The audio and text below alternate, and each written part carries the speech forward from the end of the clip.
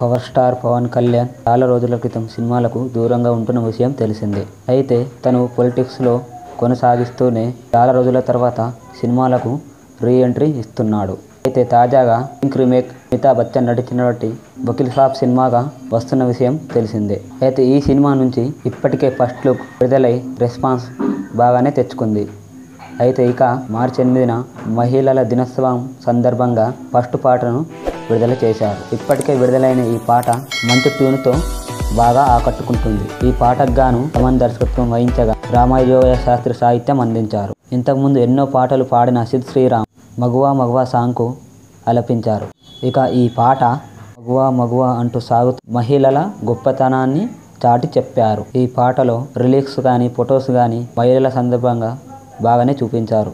ఈ సినిమా విషయానికి వస్తే వేణు శ్రీరామ్ దర్శకత్వంలో దిల్ రాజు బోని కపూర్ నిర్మాతగా వ్యవహరించనున్నారు. నటీనటులు నివేద థామస్ ఈ సినిమాలో ముఖ్య పాత్రలో నటించనుందని సమాచారం. ఈ ట్యూన్ అయితే చాలా బాగానే ఆకట్టుకుంటుంది మరి. వకీల్ సాబ్ సినిమా ఎంత పెద్ద విజయం సాధిస్తుందో చూడాలి మరి. మరిన్ని మీ అభిమాన సినిమా విషయాలు తెలుసుకోవాలంటే సబ్స్క్రైబ్ చేయండి.